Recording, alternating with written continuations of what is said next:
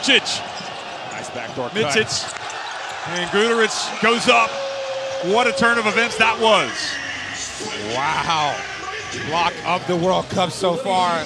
Don't think we'll see one better than that.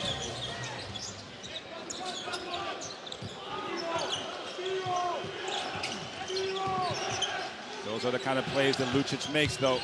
Deck goes strong and scores with a reverse layup. What a first quarter of basketball we've had. It's going back and forth now. Already a few lead changes. Four points for Deck coming off the bench. Now Guduric.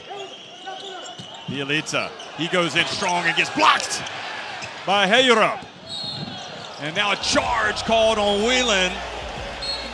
And now a technical foul has been called by Sergio Hernandez. Or called on Sergio Hernandez.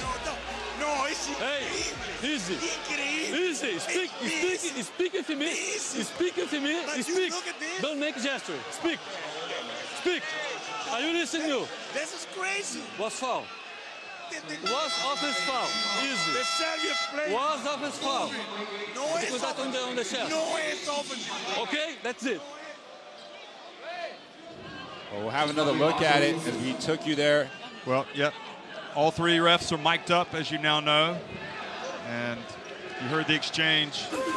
And obviously, uh, Hernandez saying he wasn't in position, you know, the, the defense was moving. He was calling an incredible, incredible decision. But he's going to, isn't he?